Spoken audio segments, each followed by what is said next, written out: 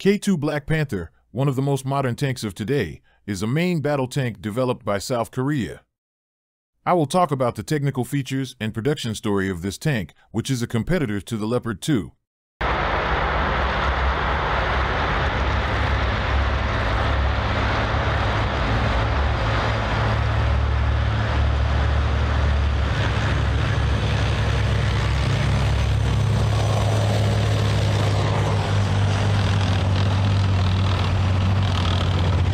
In the 1980s, rising tensions between North and South Korea led to increased investment in military technology.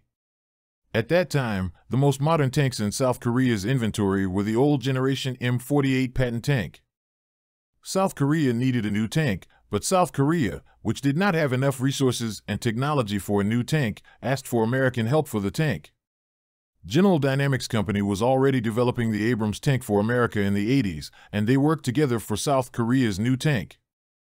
The K 1 tank, which appeared in 1984, is therefore very similar in appearance to the M 1 Abrams. Towards the end of the 80s, the K 1 main battle tank entered the inventory of South Korea, but North Korea still posed a serious tank threat. That's why South Korea decided to develop a new generation tank. This new tank was intended to have better armor protection, higher firepower, and active passive protection systems. The first prototype of the XK2 program, which started in 1995, appeared in 1998. After many tests and trials were done on the prototype, K2 Black Panther appeared in 2008. Serial production of this tank began in 2013, and in 2014 the K2 Black Panthers began service for South Korea. Thanks to this tank, South Korea gained superiority against both North Korea and China. Although modern Chinese tanks are advanced, they still cannot technically outperform the K2. The K2 Black Panther is literally a NATO tank, but it also has some features that NATO tanks do not have, such as an autoloader.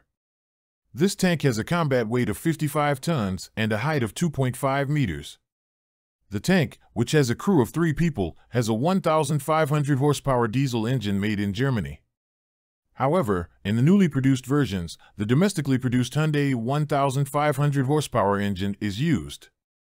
The maximum speed of this tank, which has 27 horsepower per ton, is 70 kilometers per hour.